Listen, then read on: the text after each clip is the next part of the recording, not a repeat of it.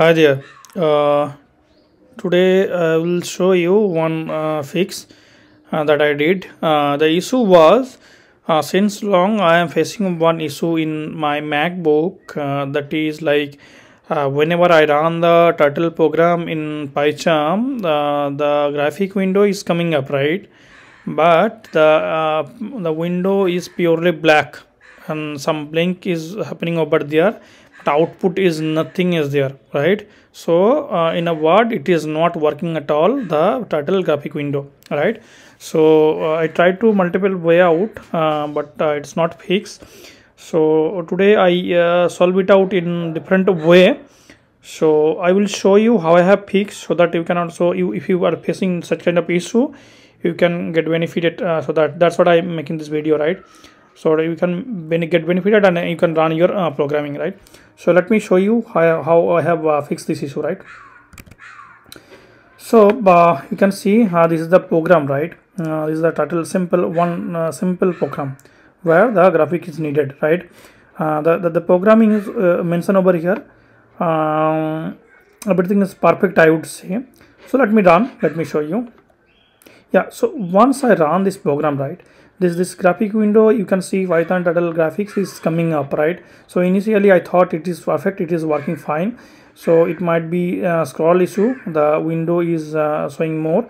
So that's what what i did uh, scroll uh, up and down uh, right and left and other way out also. But it is not working. Nothing is showing. So the issue is still persist right? So even if i uh, close this uh, window right multiple error is uh, uh, showing over there. In multiple uh, different program different error is showing. So here it is showing line number 6 is problem right?